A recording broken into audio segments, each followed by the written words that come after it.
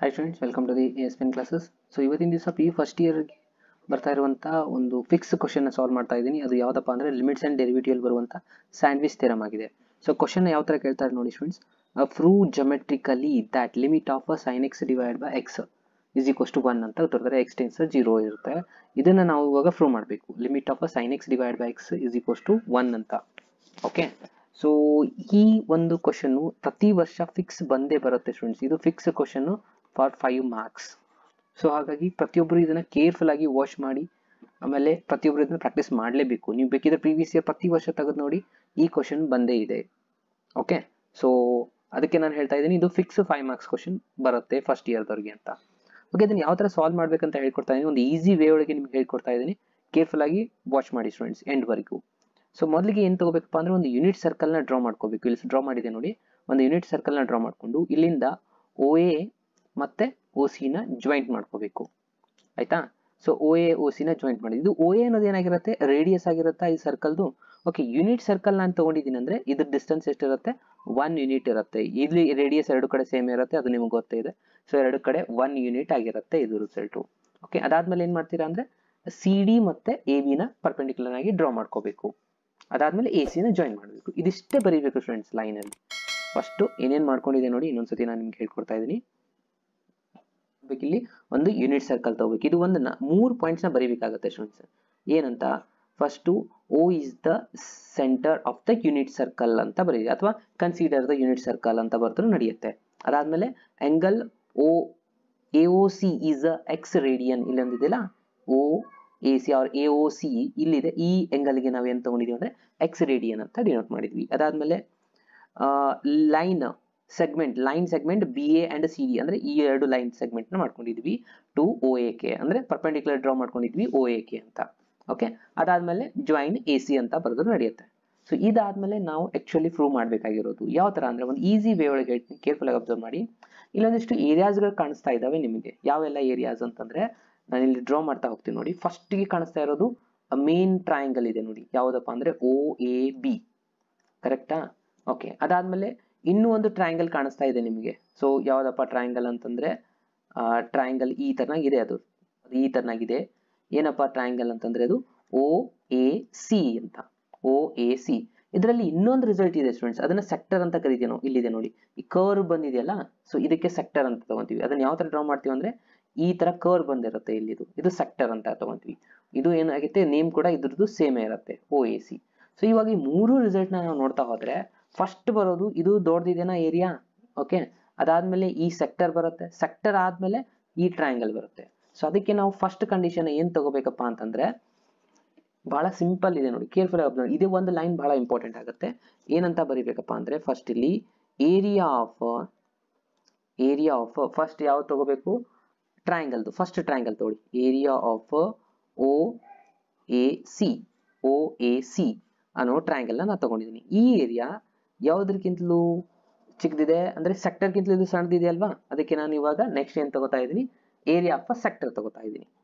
Next result area of a sector okay area of a sector ಅದು ಕೂಡ name ಸೇಮೇ ಇದೆ so ಹಾಗಾಗಿ ನಾನು ಸೇಮ್ ನೇಮೇ ಬರಿತಾ ಇದ್ದೀನಿ.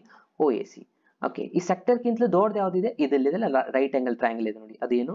ಅದು ಕೂಡ area of triangle O A B ಇದೆ ಫ್ರೆಂಡ್ಸ್ ಅರ್ಥ ಆಗ್ತಾ ಇದೆನಾ? ಇಲ್ಲಿದೆಲ್ಲ ರೆಕ್ಟರ್ ಸೊ ಈ ತರ ನಾವು ಬರ್ಕೋಬೇಕು. ಯಾಕೆ ನಾವು ಈ ತರನ ಬರೀಬೇಕು ಲೆಸನ್ ಅಂದ್ರೆ, ಈ ಟ್ರಯಾಂಗಲ್ ಏರಿಯಾನ ನಾವು ನೋಡ್ತಾ ಹೋದ್ರೆ ಫಸ್ಟ್ ಅಗ್ದಿ ಸಣ್ಣದಿರೋದು ಯಾವುದು? ಫಸ್ಟ್ ಒನ್ ಅದಾದ್ಮೇಲೆ ಇದಕ್ಕಿಂತ ದೊಡ್ಡದಿರೋದು ಟೂ ಇದೆ.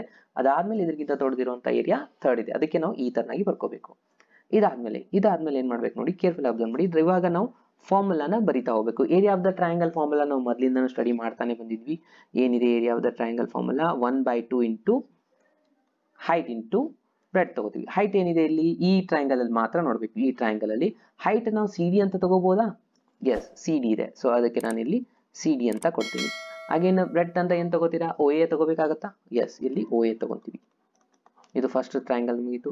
ಇನ್ನು area of the sector formula ನಮ್ಗೆ ಗೊತ್ತಾಗಬೇಕು. ಏನಿದೆ area of the sector formula area of the sector formula ಬಹಳ ಸಿಂಪಲ್ ಇದೆ ಸ್ಟೂಡೆಂಟ್ಸ್ ಆಂಗಲ್ ಆಂಗಲ್ ಏನಿದೆ ಇಲ್ಲಿ? ಎಕ್ಸ್ ಇದೆಯಲ್ಲ? ಸೊ ಅದಕ್ಕೆ ಎಕ್ಸ್ನ ತಗೋಬೇಕು.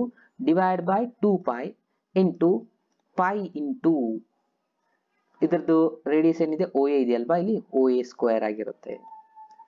ಓಕೆ ಇಷ್ಟು ನಮ್ದು ಫಾರ್ಮುಲಾ ಇದನ್ನ ನಾವು ಇನ್ನೊಂದು ಸ್ವಲ್ಪ ಸಿಂಪ್ಲಿಫೈ ಮಾಡಿ ಬರೆದ್ರೆ ಏನಾಗ್ಬಿಡುತ್ತೆ ಅಂದ್ರೆ ಈ ಪೈ ಪೈ ರಿಸಲ್ಟ್ಸ್ ಇಲ್ಲಿ ಕ್ಯಾನ್ಸಲ್ ಆಗಿ ಹೋಗ್ಬಿಡತ್ತೆ. So x by two O A square ಅಂತ ಬರೆದ್ರು ಕೂಡ ನಡೆಯುತ್ತೆ. ಅರ್ಥ ಆಯ್ತಾ? ಓಕೆ ಇನ್ನು ನೆಕ್ಸ್ಟ್ ರಿಸಲ್ಟ್ ನೋಡು. Again area of the triangle ಇದಂತೂ ಸಿಂಪಲ್ ಇದೆ. ಏನ್ ಬರೀತೀರಾ? ಒನ್ ಬೈ ಟು ಹೈಟ್ ಏನಿದೆ ಇಲ್ಲಿ? ಎ ಬಿ ಇದೆ. ಸೊ ಹಾಗಾಗಿ ಇಲ್ಲಿ ಎ ಬಿ ಬರೀತೀರಾ? ಅಗೇನ್ ಬರೀತೀರಾ? ಅಗೇನ್ ಓ ಎ ಇದೆ ರಿಸಲ್ಟ್ ಇಲ್ಲಿ ಓ ಎ ಬರೀತೀರಾ? ಓಕೆ ಫ್ರೆಂಡ್ಸ್ ಇಲ್ಲಿ ನಾವು ಇನ್ನೊಂದು ಪಾಯಿಂಟ್ನ ಅಬ್ಸರ್ವ್ ಮಾಡಬೇಕಾಗಿರೋದು ಏನಪ್ಪಾ ಅಂತಂದ್ರೆ, ನಾನು ನಿಮಗೆ ಆಲ್ರೆಡಿ ಹೇಳಿದ್ದೆ, ಇದು ಏನಾಗಿದೆ? ಯೂನಿಟ್ ಸರ್ಕಲ್ ಆಗಿದೆ ಅಂತ. ಯೂನಿಟ್ ಸರ್ಕಲ್ ಆಗಿದ್ರೆ ಈ ಓ ಎ ಅನ್ನೋದೇನು ರೇಡಿಯಸ್ ಆಫ್ ದಿ ಸರ್ಕಲ್ ಆಗಿರುತ್ತೆ. ಅಂದ್ರೆ ಇದು ಎಷ್ಟಿರುತ್ತೆ? ಒನ್ ಯೂನಿಟ್ ಇರುತ್ತೆ. ಅಗೇನ್ ಓ ಸಿ ಕೂಡ ಒನ್ ಯೂನಿಟ್ ಇರುತ್ತೆ. ಸೊ ಅಂದ್ರೆ ನಾವು ಇಲ್ಲೊಂದು ಪಾಯಿಂಟ್ ಬರ್ಕೋಬಹುದಾ ಏನಂತ? O A is equal to O C is equal to one unit ಆಗಿರುತ್ತೆ ಅಂತ. ಅಂದ್ರೆ ವ್ಯಾಲ್ಯೂ ಒನ್ ಇದೆ ಅಂತ. ಓಕೆ ಸೊ ನೀವು ಇಲ್ಲಿ ಅಬ್ಸರ್ವ್ ಮಾಡ್ಬೋದು. ಇವಾಗ ನಾವು ಜಸ್ಟ್ ಫಾರ್ಮುಲಾ ಬರದೆ. ಈ ಎಲ್ಲಾ ಕಡೆ ಓ ಎ ಅಂತ ಇದೆ ಕರೆಕ್ಟಾ ಸೊ ಈ ಓ ಎನ ನಾವು ಕ್ಯಾನ್ಸಲ್ ಮಾಡ್ಕೊಂಡ್ಬಿಡ್ಬೋದಾ ಒಂದು ಓ ಎ ಅಂದ್ರೆ ಇಲ್ಲಿ ಓ ಎ ಸ್ಕ್ವೇರ್ ಇದೆ ಓ ಎ ವ್ಯಾಲ್ಯೂ ಇದೆ ಒನ್ ಅಂತ ತಗೊಂಡ್ಬಿಡಿ one into O C D ಅಂದ್ರೆ ಅದೇ ಆನ್ಸರ್ ಇದೆ ಉಳಿಯೋದಲ್ವಾ ಓಕೆ ಸೊ ನಾನು ಇವಾಗ ಏನ್ ಮಾಡ್ತಾ ಇದ್ದೀನಿ ಓ ಎ ವ್ಯಾಲ್ಯೂನ ಅಪ್ ಮಾಡ್ತಾ ಹೋಗ್ತಾ ಇದ್ದೀನಿ ಒನ್ ಬೈ ಟು ಇಲ್ಲಿ ಸಿ ಡಿ ಉಳಿತು ಓ ಎ ವ್ಯಾಲ್ಯೂ ಎಷ್ಟಿದೆ ಒನ್ ಇದೆ ಆಲ್ರೆಡಿ ನಾನು ಇಲ್ಲಿ ಬರಿತಾ ಇದ್ದೀನಿ ನೋಡಿ ಯಾಕೆ ಅಂತಂದ್ರೆ O A value one unit ಇದೆ ಸೊ ಹಾಗಾಗಿ ನಾನು ಇಲ್ಲಿ ಒನ್ ಇಂಟು ಸಿ ಡಿ ಅಂದ್ರೆ ಸಿ ಡಿ ಉಳಿಯುತ್ತೆ ಅದಕ್ಕೆ ನಾನು ಓ ಎ ಬಿಟ್ಬಿಡ್ತಾ ಇದ್ದೀನಿ ಅದಾದ್ಮೇಲೆ ಇಲ್ಲಿ ನೋಡಿತ್ತು ಉಳಿತು ಪೈ ಪೈ ಕ್ಯಾನ್ಸಲ್ ಆದ್ರೆ ಎಕ್ಸ್ ಬೈ ಟೂ ಉಳಿದಿದೆ.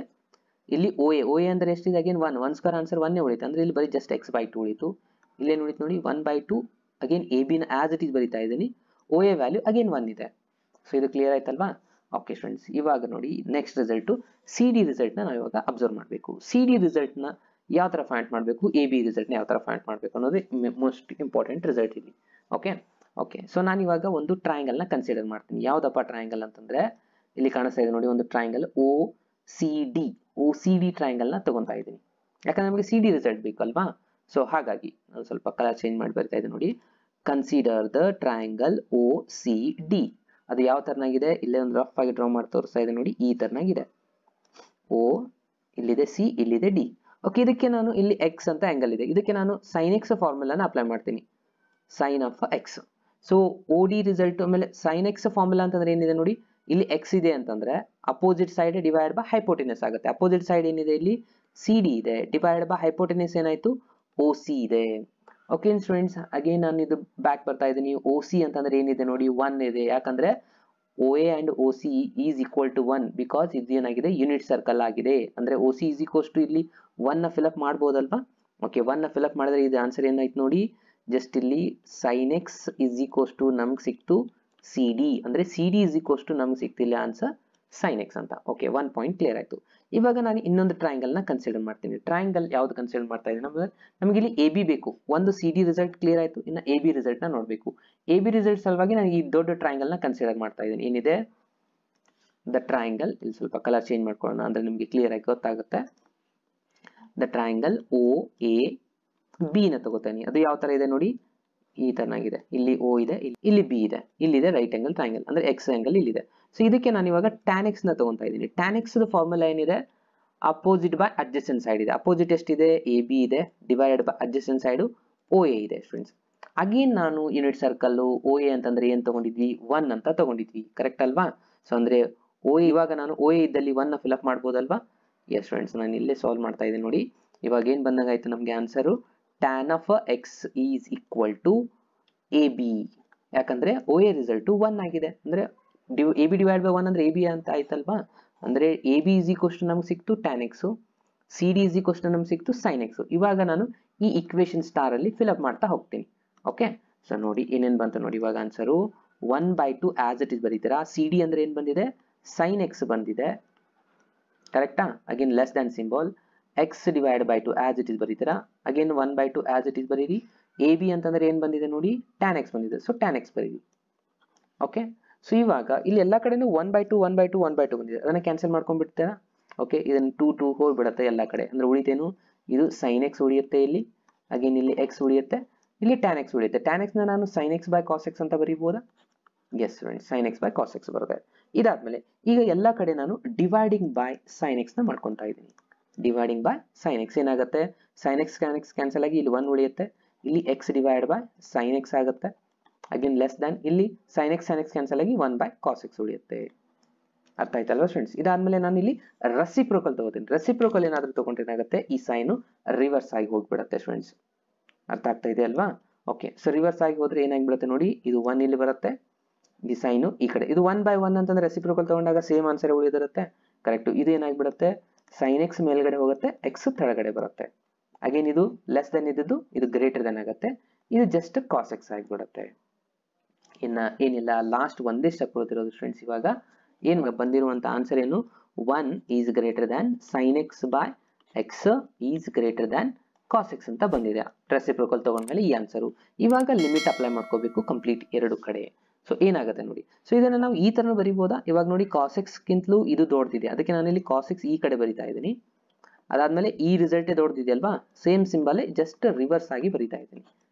X is less than one ಇವಾಗ ನಾನು ಏನು ಎರಡು ಸೇಮ್ ಮೀನಿಂಗೇ ಆಗುತ್ತೆ ಸ್ಟೂಡೆಂಟ್ಸ್ ಓಕೆನಾ ಸೊ ಇವಾಗ ನಾನು ಎರಡು ಕಡೆ ಲಿಮಿಟ್ನ ಅಪ್ಲೈ ಮಾಡ್ತೀನಿ. ಏನಾಗುತ್ತೆ? Limit of x tends to zero cos x ಆಗುತ್ತೆ. ಹಾಗೇನು ಇಲ್ಲಿ ಕೂಡ limit of x tends to zero sine x by x ಆಗುತ್ತೆ. Again less than limit of x tends to zero ಇಲ್ಲಿ ಏನ್ ಬರುತ್ತೆ? ಒನ್ ಇದೆ. Okay limit of x tends to zero zero ಹಾಕಿದ್ರೆ ಏನಾಯ್ತು? ಇದು ಕಾಸ್ ಝೀರೋ ಆಗುತ್ತಾ? ಸೊ ಕಾಸ್ಟ್ ಝೀರೋ ಆನ್ಸರ್ ಏನಾಗುತ್ತೆ ಫ್ರೆಂಡ್ಸ್ ಒನ್ ಆಗುತ್ತೆ. ಅಗೇನ್ ಇದನ್ನ ಆಸ್ ಇಟ್ ಈಸ್ ಬರೀಬೇಕು. ಇದನ್ನ ಏನು ಡಿಸ್ಟರ್ಬ್ ಮಾಡೋ ಹಾಗೆ ಇಲ್ಲ. ಇಲ್ಲಿ ಸೈನ್ ಎಕ್ಸ್ ಬೈ ಎಕ್ಸ್ ಉಳಿಯುತ್ತೆ. ಅಗೇನ್ ಇದು less than again sine limit of one ಅಂತಂದ್ರೆ ಒನ್ ಅಂದ್ರೆ ಕಾನ್ಸ್ಟೆಂಟ್ ಆಗುತ್ತೆ. ಸೊ ಇದ್ರ ಆನ್ಸರ್ ಕೂಡ ಒನ್ ಬಂತು. ಓಕೆ ಸ್ಟೂಡೆಂಟ್ಸ್ ಇಲ್ಲಿ ನೀವು ಅಬ್ಸರ್ವ್ ಮಾಡ್ಬೋದು. ಇದು ಲಿಮಿಟ್ ಆನ್ಸರ್ ಇಲ್ಲಿ ಲೆಸ್ ದ್ಯಾನ್ ಆನ್ಸರ್ ಒನ್ ಬಂದಿದೆ ಗ್ರೇಟರ್ ದ್ಯಾನ್ ಆನ್ಸರ್ ಕೂಡ ಒನ್ ಬಂದಿದೆ. ಅಂದ್ರೆ ನಿಮ್ಮ ಲಿಮಿಟ್ ದ ಆನ್ಸರ್ ಯಾವುದೇ ಒಂದು ಲಿಮಿಟ್ ತಗೊಂಡ್ರೆ ಇದ್ರದ್ದು left side answer L H L ಅಂತಾರೆ ನೋಡಿ. ಅದರ ಆನ್ಸರ್ ಮತ್ತೆ ರೈಟ್ ಸೈಡ್ ಆನ್ಸರ್ ಎರಡು ಈಕ್ವಲ್ ಆನ್ಸರ್ ಬಂದಾಗ ಇದರ ಲಿಮಿಟ್ ಆನ್ಸರ್ ಎಕ್ಸಿಸ್ಟ್ ಆಗಿರುತ್ತೆ ಯಾವಾಗಲೂ ಲಿಮಿಟ್ ಆನ್ಸರ್ ಡೈರೆಕ್ಟ್ ಆಗಿ ಫಿಲ್ಅಪ್ ಮಾಡಿದಾಗ ಆನ್ಸರ್ ಬರೋದಿಲ್ಲ. ಜೀರೋ ಹಾಕಿದಾಗ ಏನಾಗಿಬಿಡುತ್ತೆ ನೋಡಿ ಇದು ಜೀರೋ ಬೈ ಜೀರೋ ಆಗುತ್ತೆ. Sine zero answer zero divide by zero zero by zero answer ಆಗುತ್ತೆ. ಬಟ್ ಅಂದ್ರೆ x is not equals to zero but left side ಇಂದ ಚೆಕ್ ಮಾಡಿದಾಗ ಆನ್ಸರ್ ಏನ್ ಬರ್ತಾ ಇದೆ? ಒನ್ ಬರ್ತಾ ಇದೆ.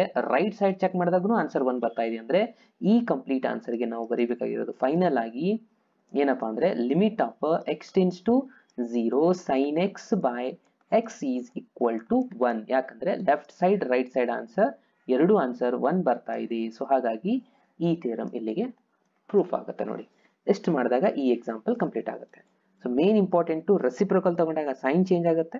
ಅದಾದ್ಮೇಲೆ ಲಿಮಿಟ್ನ ಅಪ್ಲೈ ಮಾಡಬೇಕು.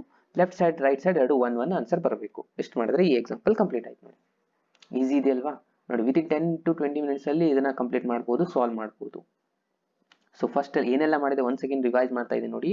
ಫಸ್ಟ್ ಏನೆಲ್ಲ ಬರೀಬೇಕಂದ್ರೆ ಒಂದು ಸರ್ಕಲ್ನ ಡ್ರಾ ಮಾಡಬೇಕು ಯೂನಿಟ್ ಸರ್ಕಲ್ ಆಗಿರಬೇಕು. ಅದಾದ್ಮೇಲೆ ಇಲ್ಲಿ ಎಕ್ಸ್ ಅನ್ನೋದು ರೇಡಿಯನ್ ಆಗಿರುತ್ತೆ ಲೈನ್ ಸೆಗ್ಮೆಂಟ್ ಬಿ ಎ ಮತ್ತೆ ಎ ಬಿ ಅನ್ನೋದು ಪರ್ಪೆಂಡಿಕ್ಯುಲರ್ ತೊಗೊಂಡಿರ್ತೀರಾ? ಓ ಎಗೆ ಎ ಸಿನ ಜಾಯಿನ್ ಮಾಡ್ಕೊಂತೀರಾ? ಏರಿಯಾದ ತಗೋಬೇಕು ಏರಿಯಾ ಫಸ್ಟ್ ಸರ್ಕಲ್ ಇದು ಬರುತ್ತೆ, ಅದಾದ್ಮೇಲೆ ಇದಕ್ಕಿಂತ ಇದು ದೊಡ್ಡದಿರುತ್ತೆ ಇದು ದೊಡ್ಡದಿರುತ್ತೆ, ಅದನ್ನೇ ಬರ್ಕೋಬೇಕು. Area of the sector formula ಗೊತ್ತಿರಬೇಕು, ಇಲ್ಲಿ ಬಹಳ ಇಂಪಾರ್ಟೆಂಟ್ ಆಗೋದು ಇದು. ಓಕೆ ಸೊ ಇಲ್ಲಿ ಬೈ ಬೈ ಕ್ಯಾನ್ಸಲ್ ಮಾಡಿ ಎಕ್ಸ್ ಬೈ ಟು ಅಂತ ಬರೋದು ನಡೆಯುತ್ತೆ. ಇಲ್ಲಿ ಮೇನ್ ಇಂಪಾರ್ಟೆಂಟ್ ಏನಾಗೋದಪ್ಪ ಅಂದ್ರೆ ಈ ರಿಸಲ್ಟ್ ಓ ಎ ಮತ್ತೆ ಸಿ ಓ ಸಿ ಅನ್ನೋದು ಈಕ್ವಲ್ ಟು ಒನ್ ಆಗಿರುತ್ತೆ. ಯಾಕಂದ್ರೆ ಇದು ಯೂನಿಟ್ ಸರ್ಕಲ್ ಇರೋದ್ರಿಂದ ರೇಡಿಯಸ್ ಒನ್ ಆಗಿರುತ್ತೆ.